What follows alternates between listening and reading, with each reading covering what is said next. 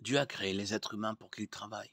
La première instruction que Dieu a donnée à Adam était de travailler et d'entretenir le jardin d'Éden. Genèse 2.15. Malheureusement, au fil des temps, le terme travail a acquis une connotation négative. Nous considérons souvent le travail comme une activité difficile ou désagréable que nous sommes obligés d'accomplir. Or, le travail consiste simplement à s'engager dans une activité physique ou mentale afin d'atteindre un but ou un résultat. Porter une cuillère à sa bouche est un travail. Créer une chanson ou un poème pour exprimer son cœur est un travail. Car cette activité est réalisée dans le but d'obtenir un résultat.